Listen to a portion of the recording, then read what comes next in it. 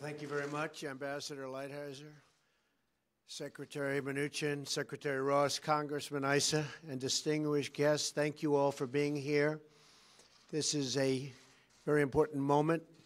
We're going to be fulfilling another campaign promise by taking firm steps to ensure that we protect the intellectual property of American companies and, very importantly, of American workers. The theft of intellectual property by foreign countries costs our nation millions of jobs and billions and billions of dollars each and every year. For too long, this wealth has been drained from our country while Washington has done nothing. They have never done anything about it. But Washington will turn a blind eye no longer.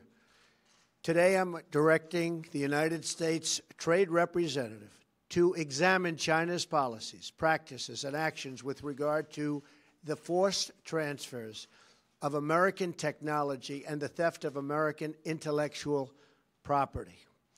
As President of the United States, it's my duty and responsibility to protect the American workers, technology, and industry from unfair and abusive actions.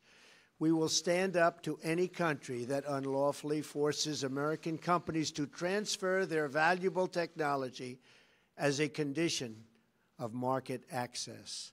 We will combat the counterfeiting and piracy that destroys American jobs. We will enforce the rules of fair and reciprocal trade that form the foundation of responsible commerce.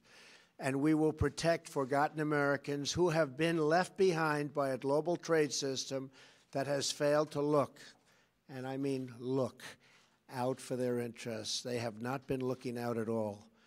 This is what I promised to do as a candidate for this office, and this is what I am doing right now as president. Ambassador Lighthizer, you are empowered to consider all available options at your disposal. We will safeguard the copyrights, patents, trademarks, trade secrets, and other intellectual property that is so vital to our security and to our prosperity.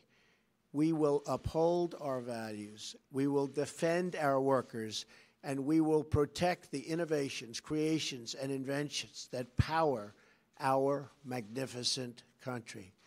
Thank you, and God bless America. Thank you all very much. It's a very big move. Thank you.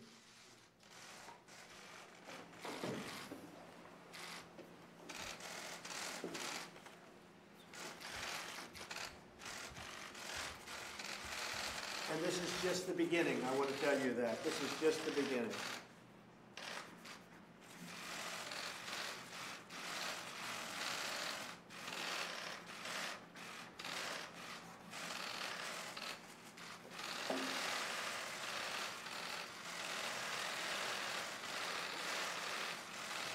Where's Raytheon?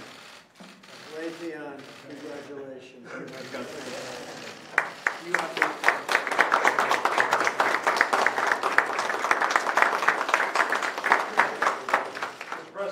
explain why you did not condemn those hate groups by